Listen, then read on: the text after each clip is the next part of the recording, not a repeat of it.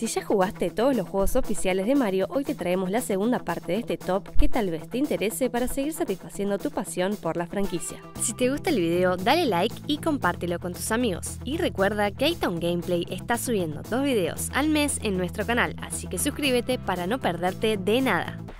Hay una persona ahí dentro. ¡Hola! Te llevo, te llevo. Aquí puedo llevar agua. Espérate un momento. Necesito recuperar algo de agua. Ok. Ya está, ¿no? Ven. Estaba en el váter el pobre. Venga, te voy a salvar. No te preocupes. Mario's Time Machine. Es un juego de tipo educacional, ya que da algunas lecciones de historia.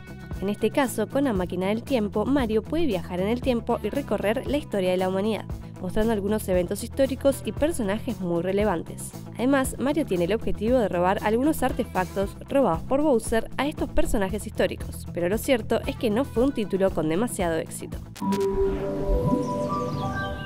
Mario Clash.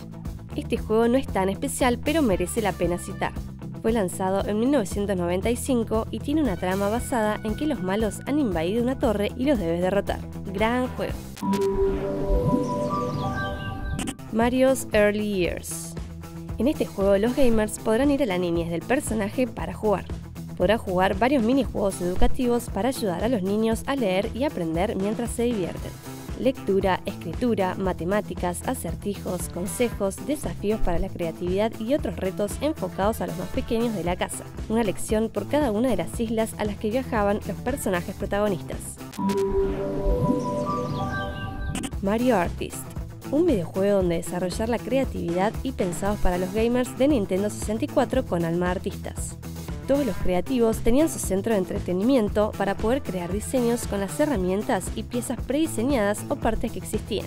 Con Paint Studio podías dibujar, con Talent Studio creabas tus personajes favoritos. Con Polygon Studio creabas figuras 3D y con Communication Kit podías compartir algunas creaciones. Y finalmente, esta ha sido la segunda parte del top de los juegos más raros de Mario Bros. ¿Estás de acuerdo? ¿Conoces alguno más? Por favor, déjanos tu opinión en los comentarios. Puedes seguirnos en nuestras redes sociales de Facebook y Twitter, donde podrás elegir de qué quieres que sea nuestro siguiente top. Y si quieres ser parte de la familia de TGN, puedes ir al link de la descripción. Yo soy Florencia, hasta la próxima.